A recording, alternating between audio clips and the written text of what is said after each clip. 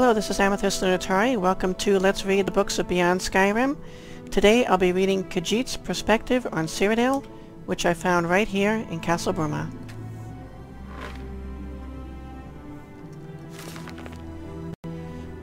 Khajiit's perspective on Cyrodiil, a work by Zardaki, part of his Khajiit's Perspective series on the cultures of Tamriel. Purchase other installments from all good bookstores. Remember, if they don't sell it, pester the store owner until they do. Zadaki comes today to tell you of the cosmopolitan heartland of the Empire, Cyrodiil. No doubt many Khajiit are familiar with the Imperial province, but for those who are not, prepare to experience shock and awe, delight and fright, and a little bit of attraction to your brave explorer, reporter, author, Zadaki, no? Cyrodiil is a place of bountiful treasure and varied creatures. It is also of varied inhabitants, predictable given its central location.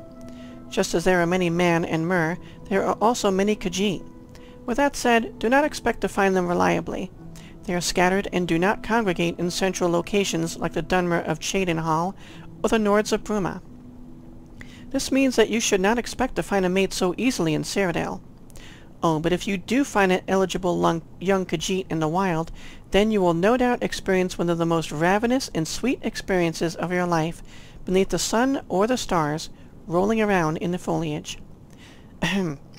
Zadaki digresses. Perhaps you should consider hiring an editor. The Nirn Theatre is a fantastic institution indeed. Situated on the Imperial Isle, it plays host to the most entertaining and delightful plays Zadaki has ever seen. Of course, Zadaki, as established in Khajiit's perspective on High Rock, struggles to restrain himself when watching such performances, and this is also true with the Nirn Theatre. While his outbursts during the village plays in High Rock simply earned him displeased glares and bewildered stares, his outburst in the Nirn Theatre got him a most displeasurable spanking from one of the institution's most flamed playwrights, the renowned Crassius Curio. In the wilderness, Zadaki must confess he stumbled upon a strange sight indeed. Near Leyawiin, a shrine to what he believes to be a Daedric prince.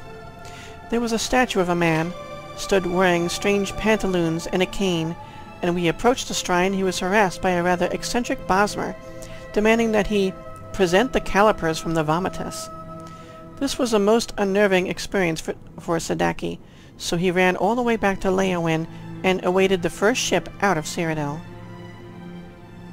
Overall, Zadaki finds Cyrodiil a most peculiar but fairly agreeable place. However, if you want skooma, moon sugar, or delightful Khajiit ladies, this one believes you may be better off looking elsewhere. Get it?